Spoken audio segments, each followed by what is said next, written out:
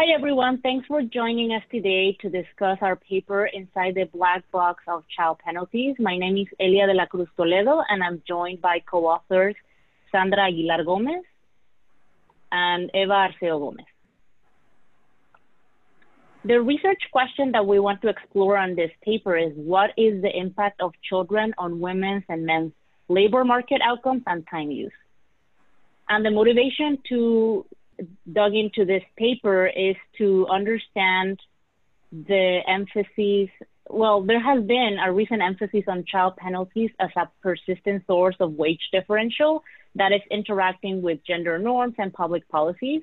And there has been a lot of recent literature that is exploring and also over the years uh, employment patterns for the US, different Scandinavian countries, and other countries in Western Europe. However, the context in developing countries is very different, and it's really important to understand employment patterns for women in these areas because gender norms tend to be uh, more traditional in developing countries. There's a higher reliance on extended family members providing childcare, and sometimes it's preferred to institutional settings. There's a, a, large informal sector that is sometimes used in developing countries as a source of flexibility and a fallback option that is preventing mothers from completely exiting the labor force and just remaining in um, the informal labor sector. In Mexico, um, so the wage differential literature has stated that some of the differences in um, wages are due to differences in endowments, differences in returns, and some unexplained portion of the of wages of the wage gap. In Mexico, there's uh, recently has been a larger proportion of women that are attending higher education in the productive age, and there has been an institutional effort that is trying to tackle discrimination. However, uh, even though there's a new institute that receives all of these complaints, and a quarter of those are related to pregnancy discriminate pregnancy related discrimination, there hasn't been too much enfor- enforcement or oversight. So not a lot of firms have been fined for this discrimination.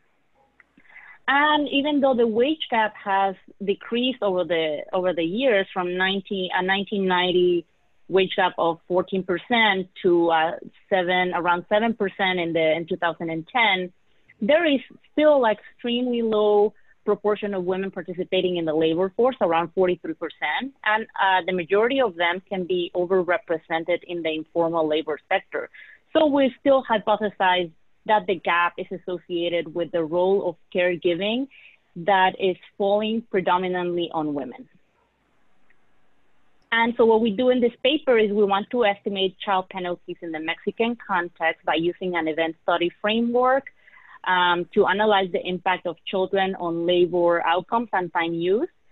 Um, and also we use an instrumental variable as a robustness check we look at the role of the informal sector as both the source of flexibility and fallback option, and we also look at the outcomes of other household members, which is one of our main contributions.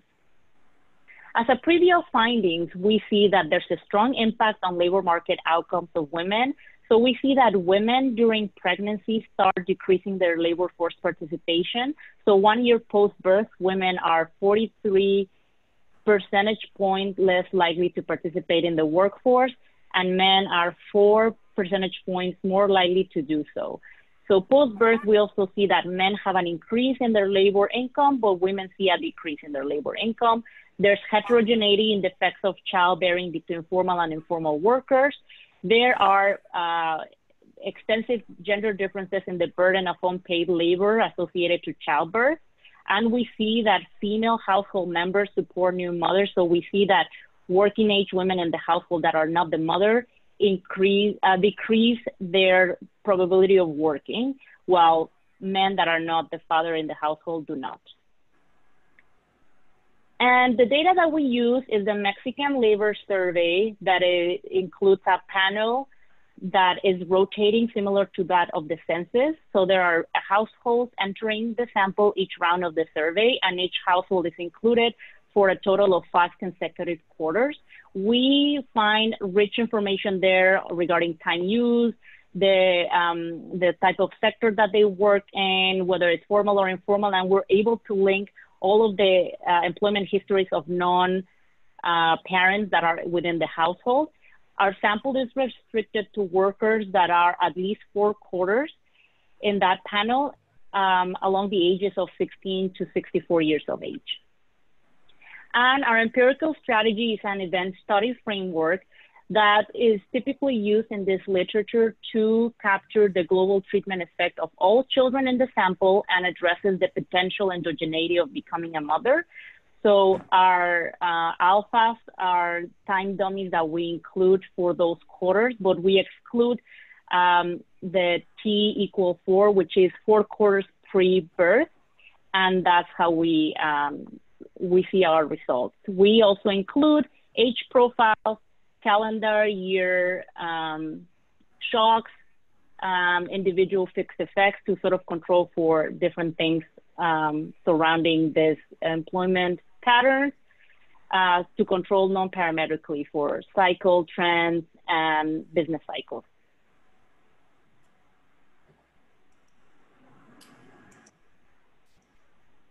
So let's move on to the results. Um, in these plots, we uh, in these graphs we plot the alphas that uh, Elia mentioned uh, capture the effect of children and the relative time with respect, with respect to the birth can be seen in the x-axis. Uh, and we highlighted the time of conception between the trimester minus three and trimester minus four, and also the uh, time of birth that is trimester zero, between zero and one. Um, so in this plot, we see the coefficient of the estimate, the estimate coefficient of the impact of, um, of children on uh, women's and men's labor force participation. On the plot on the left, we see the, the impact on the probability of having positive working hours. And we see an impact of almost 30%, uh, 30 percentage points decrease uh, in the probability of having positive working hours for women uh, at the point, at the trimester of birth. And in the longer run, um, that is four trimesters after birth, there still remains an impact uh, of roughly 20%. Um, we, when we consider uh, the plot B uh, on the right side, uh, for this plot, we consider women to be still in the workforce when they're taking a maternity leave. So ruling, um, discounting that out from the from the effect, we see slightly smaller effects that round between that range between 25, uh, almost 25 percent decrease in percentage points in the probability of working at the moment of birth, and uh, 15 percentage points one year later. Um, more on the extensive margin, in this graph, we compare women who were uh, working at the beginning of the panel with, with women who weren't, and we and we see slightly different dynamics. Um, so what we see for women that weren't working at the beginning is that they uh, that they end up being even more uh, stopped out of the workforce um, after childbirth. Then we look at the intensive margin of the impacts of children on, on labor market outcomes. Uh, on the plot of the left, we see the impact on women um, who are working at the beginning. And then we keep only the women who never uh, stopped working, um, who never stopped being in the labor force. And we see, and just as before, we see different like, dynamics um, in which uh, for women that never stop working, um, there is a more pronounced recovery in their hours worked. So their long or medium run, uh, one year later effect is of approximately 20% in their hours work. Um, and what we see, another interesting finding what, that we are showing here is that men potentially compensate with an increase of uh, between 1.7 and 1.9 hours of one year uh, after birth. Then we saw the impacts of, uh, of children in the short run on income. Um, what we see is slightly um, is robust results regardless uh, if we use hourly wage or, or monthly income.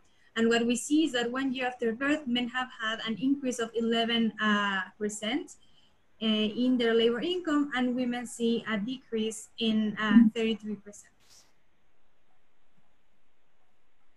And now we will move on to a results on, on unpaid labor uh, for mothers and fathers, and also for other household members, which is one of our most noble contributions uh, with this paper.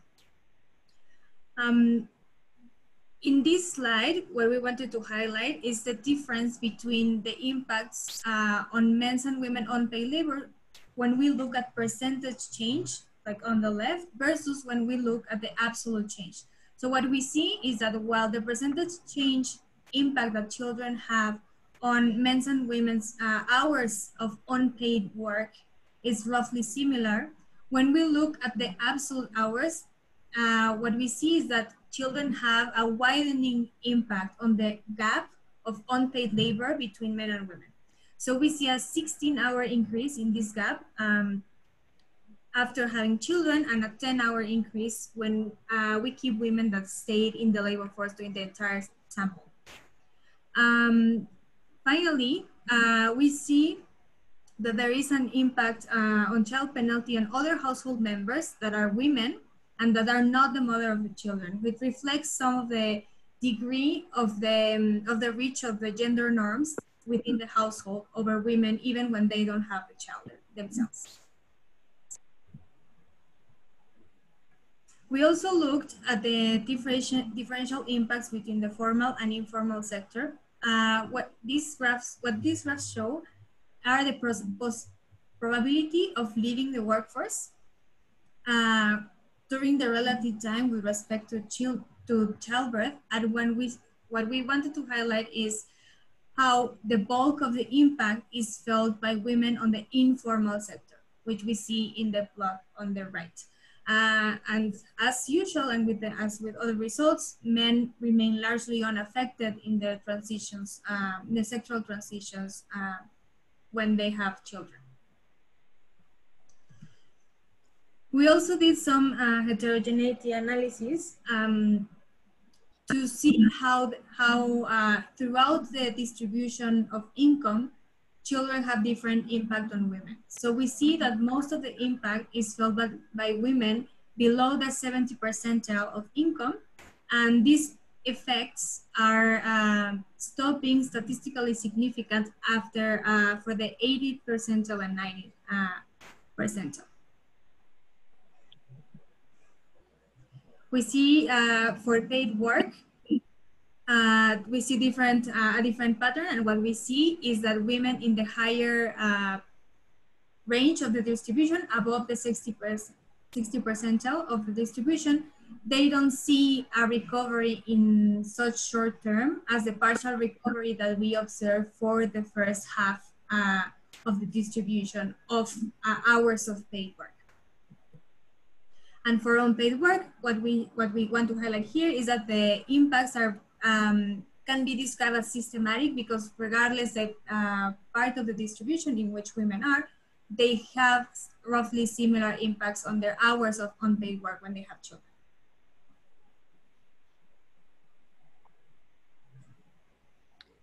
Okay, now we will proceed to uh, our robustness checks. We did a series of robustness checks. The first one is an instrumental variable approach.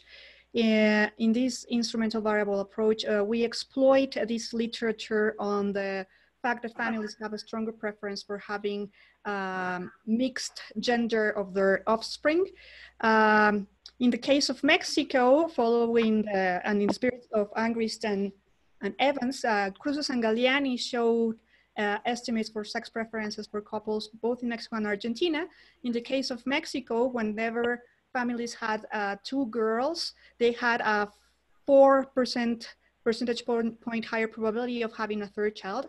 Whereas in the case of uh, having two boys, uh, they only had around 2, 2.5 uh, percentage point higher probability of having a third child. So uh, since in our data we don't observe uh, that many families with three children, uh, we decided to use only the sex of the first child as uh, in the spirit of uh, Almond and uh, co-authors in 2013. So um, our instrument uh, interacts this dummy variable of having a first uh, child who's a girl with all these uh, time dummies that we that defined our event study and the usual assumptions on uh, instruments apply here. The first stage, we found that having a daughter at first uh, increases the probability of having a second child by 1.4 percentage points.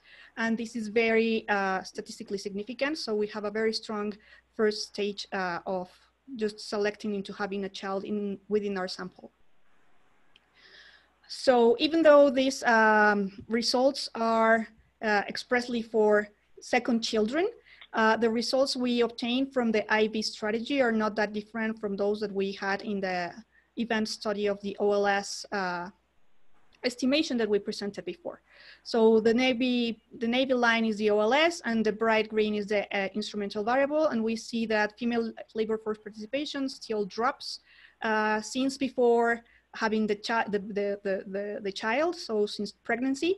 Hours, um, hourly wage also drops and uh, it still drops by a large percentage, both for uh, all the sample and for second children. Um, paid work uh, the hours worked also drop for both. And here we find basically no difference between the OLS and the IV. And unpaid work also increases in both cases. Um, we also received some uh, comments on whether there is selection into maternity, in particular, whether if women are experiencing something, something akin to an Ashenfelter dip, uh, they would uh, select into maternity since they are not doing very well in, in, in their careers or in the labor market. Uh, so there's this uh, opinion that says that there's some sort of negative selection into maternity. Uh, and in order to check whether that was true or not, we reran our quantile regressions, uh, comparing women who had children with those who didn't have children. And what we found is that those who had children, in fact, part from higher wages, uh, also higher uh, hours of work. However, they part from the same amount, more or less, of unpaid work. So if, if anything, we find that there is positive selection into maternity instead of negative selection, which in fact uh, reinforces our results uh, on, on, on, the negative effects that children have on, on their mothers. We also ran some other checks, uh, which we are not showing here for the sake of time, but um, we don't find that this is dominated by women who are single or uh, and then had a child and uh, the effect is more or less the same for married and unmarried women and uh, sort of like um, consistent with the, effect, the, effects that we found on, on the quintiles uh, of income, we also found that women who have higher education uh, have a lower effect on wages and um, on participation. Okay, so just to sum up our results, we found uh, that women in Mexico do experience a child penalty in the Mexican labor force at the extensive margin. Uh, they drop around 43 percentage points uh, their participation, whereas men increase by four percentage points. At the intensive margin, they decrease their hours very substantially. And uh, also we observe as a result, a decline in wages and labor income of women, whereas for men, we in fact find uh, an increase in their income. So uh, women in the informal sector, which is uh, one of the differences of our, of our paper with the rest, with the literature of the Western countries, um, uh, are more likely to drop out of labor force, uh, whereas uh, men are more likely to enter and remain in the labor force. We also uh, checked this uh, result on unpaid hours, which uh, is also novel in the literature. Um, and we found that the, the gap of unpaid work widens uh, between men and women after they have a child. And so our study still provides further evidence, also in developing countries, that uh, women have a, a, balancing act when it comes to market work and home responsibilities. And hence, uh, in the public policy realm, uh, we expect uh, the authorities to improve childcare services and uh, somehow in, improve the culture that assigns these gender roles to both men and women. Uh, however, unfortunately, we haven't seen that in the current administration, uh, and we want to analyze what the effect of the changes that they have brought upon uh, has been on the child penalty. thank you very much for taking your time to uh, see our video. And we hope that you enjoyed our research. Bye.